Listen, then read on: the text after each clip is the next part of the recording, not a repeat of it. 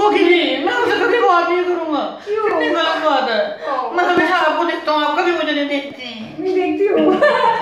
Hi, I'm Rakesh Bedi and please keep watching Theatre Rapids. Okay, thank you.